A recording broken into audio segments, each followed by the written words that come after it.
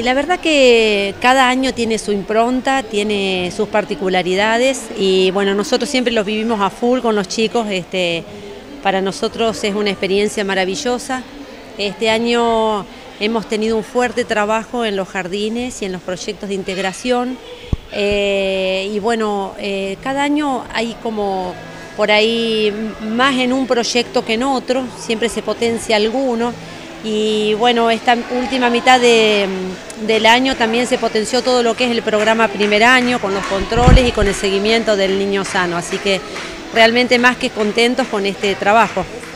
Eh, recordanos, eh, niños de qué edades eh, concurren al servicio de estimulación temprana y un poco cómo es el trabajo que se hace con ellos. Bueno, nosotros recibimos niños desde eh, recién nacidos, diríamos. Eh, a partir del mes, de los 45 días, empieza a venir em, dentro del programa primer año, donde se hace un seguimiento del desarrollo. Los niños eh, pueden tener alguna disfunción, pueden tener un desarrollo sano o no, y bueno, lo que se hace es trabajar con los padres sobre cuestiones que tengan que ver con esto de potenciar su desarrollo y las habilidades que ellos tienen pasado el año, año y medio, en donde los niños adquieren eh, la autonomía con la marcha y comienzan a desarrollar su lenguaje, empieza a haber un fuerte trabajo con el proyecto de vivencias tempranas. Em, allí eh, vienen dos días a la semana con la profesora Celeste Ojeda eh, y están dos horitas, dos horas a la semana y funciona como un jardín.